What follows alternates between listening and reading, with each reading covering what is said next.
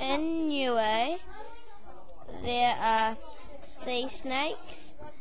They bite in between your fingers, but coconut crabs nip in between your fingers. Fish swim when you are snorkeling. This is a palm tree and it has coconut on it. They take the coconut off and then it turns to coconut cream. Then it's finished. Then we have it with lots of fish. Yum.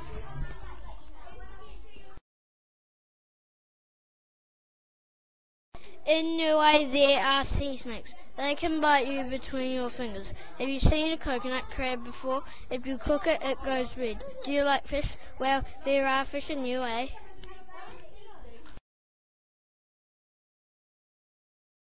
In Niue, there are sea snakes. They can only bite you in between your fingers.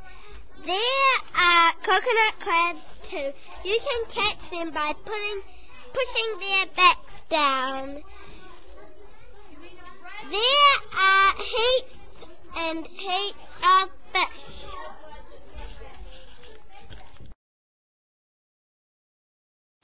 In Niue, there are sea snakes.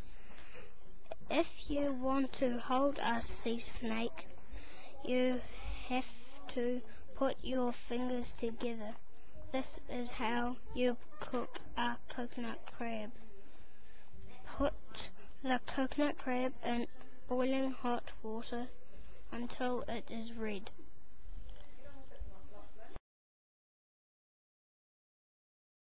In Niue, they have sea snakes. They bite you in the middle of your fingers. Nowhere else. That water is really clear. You can snorkel. You can swim with whales and sharks. You can swim with